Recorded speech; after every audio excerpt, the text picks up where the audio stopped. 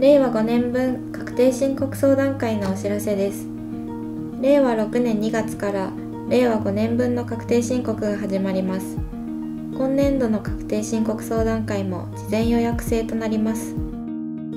申告内容予約方法によって予約開始日時が異なりますのでご注意ください。なお予約は先着順としますので受付人数が定員に達し次第締め切らせていただきます。あらかじめご了承ください。立山町での住民税申告または源泉徴収された所得税が戻る申告相談は令和6年2月13日火曜日から2月15日木曜日までです。ただしこれらの申告は2月16日から始まる確定申告期間中にもご相談いただけます。住民税の申告や所得税の還付または納付の申告相談は令和6年2月16日金曜日から3月15日金曜日までです。複雑な申告などは立山町役場でお受けすることができません。令和4年分以前の申告亡くなられた方の申告立山町への用地譲渡を除く不動産株式金等の譲渡所得の申告仮想通貨取引の申告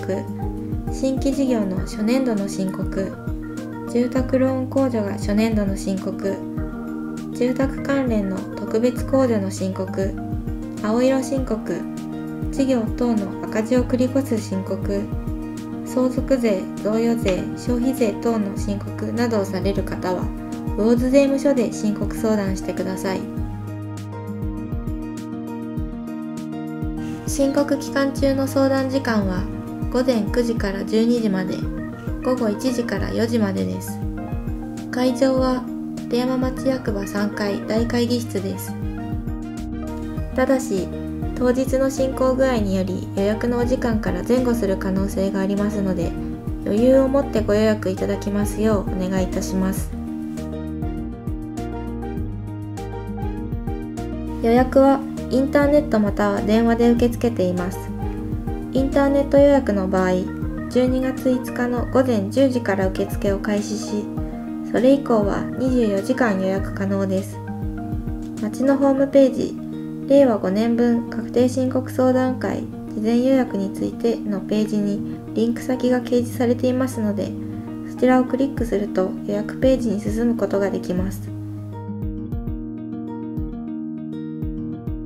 スマートフォンからは画面の QR コードを読み取ると直接予約ページにお進みいただけます。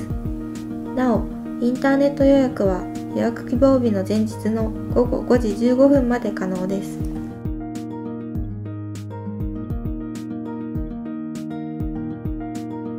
電話予約の場合は住民税の申告または所得税が戻る申告は12月13日水曜日から。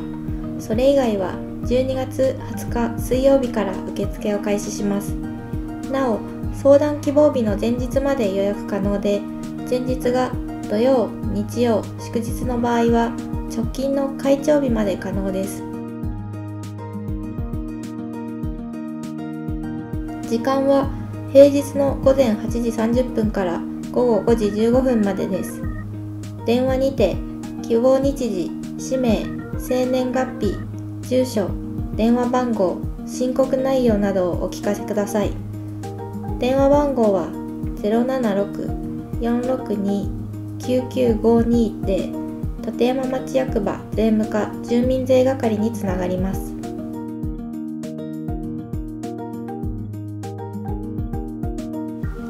また、仕事などで日中役場に来ることができない方のために夕方の申告相談会も行います。ちらはインターネットからのみ予約が可能です実施日は2月19日2月26日3月4日3月11日のいずれも月曜日で時間は午後5時30分からと午後6時からですただし夕方の申告相談会では農業所得のある方の申告はお受けできませんのであらかじめご了承ください。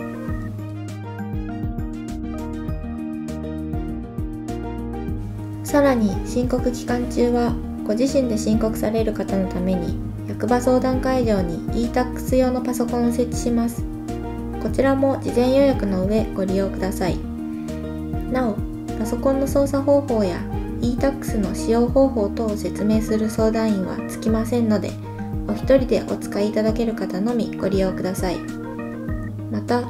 パソコンから e-tax での申告をされる際はマイナンバーカードが必要ですのでお手元にカードをご用意の上利用を開始してください。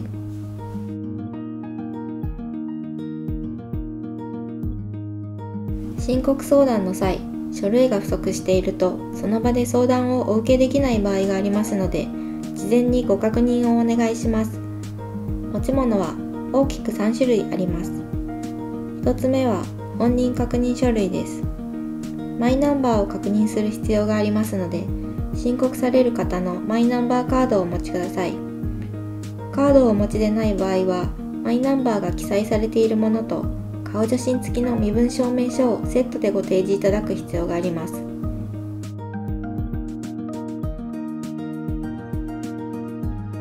2つ目は収入を証明する書類です。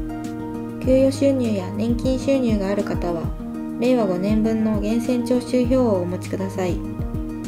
事業収入のある方は事業ごとの収支内訳書を作成してお持ちください。その他報酬や個人年金配当などがあればその支払い証明書をご持参ください。3つ目は控除を証明する書類です。申告したい控除の種類によって提示書類は異なります。例えば障害者控除を申告する場合は障害者手帳を